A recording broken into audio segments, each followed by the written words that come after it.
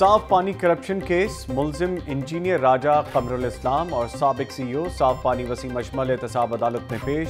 ملزم انجینئر قمر الاسلام راجہ پر چوراسی واٹر ٹریٹمنٹ پلانٹس کا ٹھیکہ، غیر قانونی طور پر مہنگے داموں دینے کا الزام۔ ہائی کورٹ کا شہر کے تمام فلٹریشن پلانٹ بحال کرنے کا حکم۔ Mayor colonel retired Mubashir Javed high court میں پیش۔ ایک سو چھبیس واٹر فلٹریشن پلانٹ بحال کر دیے گئے ہیں۔ چورانوے واٹر فلٹریشن پلانٹ فنی خرابی کے باعث نہیں چل رہے۔ ایم ڈی واسا نے رپورٹ جمع کرا دی۔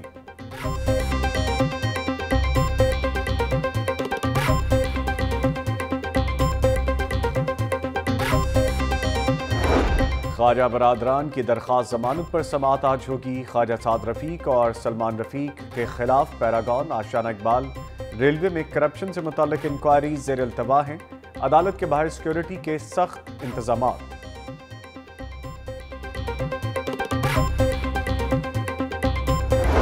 تھانہ گجرپورہ پولیس کے خلاف خواتین کا سیشن کورٹ میں احتجاج۔ اے ایس آئی طاہر سمیت دیگر اہلکاروں کے خلاف مقدمے کے لیے درخواست۔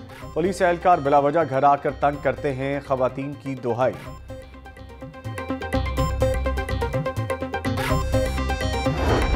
ڈاکٹرز کو ہاسٹل سے کیوں نکالا؟ مستقل تقرری کیوں نہ کی گئی؟ ینگ ڈاکٹرز کا شیخ زید ہاسپٹل میں پانچویں روز بھی احتجاج۔ او پی ڈیز بند ہونے سے مریض خار، لواحقین کو بھی پریشانی۔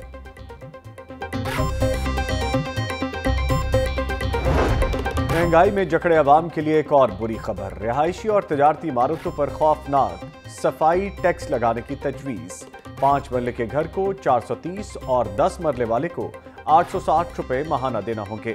کمرشل استعمال ہونے والی جگہ کا فی مرلہ ٹیکس چار سو تیس روپے مختص۔ ایل ڈبلیو ایم سی کا صفائی ٹیکس سے سوا آٹھ ارب اکٹھا کرنے کا منصوبہ۔ ٹیکس تفصیلات کی کاپی لاہور نیوز نے حاصل کر لی۔ ٹیکس کا نفاذ کابینہ کمیٹی پنجاب سے مشروع۔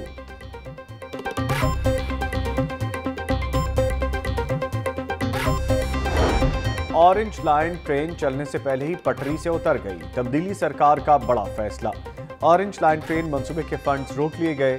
تیرہ کروڑ روپے کے فنڈز محکمہ اسکول ایجوکیشن کو منتقل۔ فنڈ سے محکمے کا سسٹم آن لائن بنایا جائے گا۔ Rescue double one double two میں کروڑوں روپے کی کرپشن کا معاملہ۔ اینٹی کرپشن نے D G rescue doctor Rizwan Naseer کو طلب کر لیا۔ چار سگے بھائیوں کو بھرتی کرنے کا ریکارڈ سمیت اہم دستاویزات بھی مانگ لی پی ایک سو اڑسٹھ ضمنی الیکشن، انتخابی مہم کا آج آخری روز۔ امیدوار رات بارہ بجے تک انتخابی مہم چلا سکیں گے۔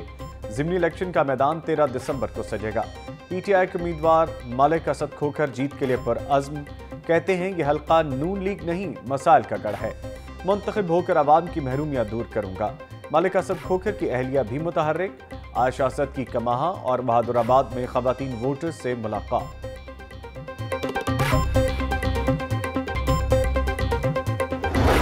ضمنی الیکشن کا مارکا، پیپلز پارٹی اور نون لیگ متحد ہو گئیں۔ عزیز الرحمان چند کہتے ہیں، جمہوریت کے لیے نون لیگ کا ساتھ دے رہے ہیں۔ پی پی ایک سو اڑسٹھ سے نون لیگ کو ہی کامیاب کروائیں گے۔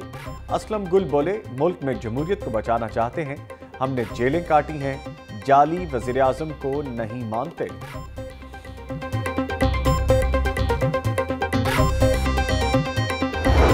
Divisional superintendent railway Muhammad Sufyan Sarfraz Dogar Sahiwal section کے معنی کے لیے لاہور سے روانہ تمام ڈویژنل افسران بھی ہمراہ۔ کل ہونے والی بارش سے سردی میں اضافہ۔ دھوپ نکلنے سے موسم خوشگوار۔ آج بھی شہر کا مطلع جزوی۔ ابر آلود رہنے کی پیش گوئی۔